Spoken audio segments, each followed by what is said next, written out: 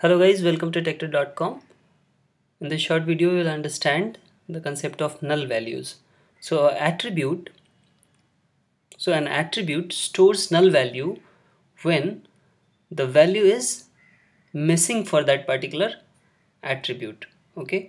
So for example, let's say I'm considering a person have a name and as we know name is a composite attribute so we break name into multiple simple attributes first name middle name and last name and we see that we may have a condition or we may have a person for which middle name is not there. I mean the value of middle name is missing. So in that case what we will store and what will be i mean what will be stored in that middle name? So that will be null. Okay so null has importance in our database system.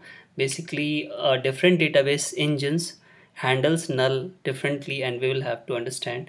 And we will take care of null while studying SQL because uh, in case of null SQL returns some you know unexpected values or unexpected result.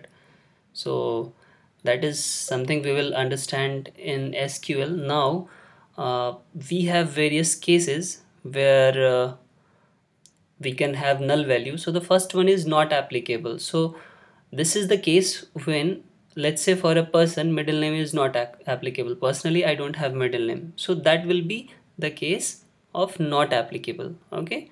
So for that particular attribute is not applicable for that entity. Right?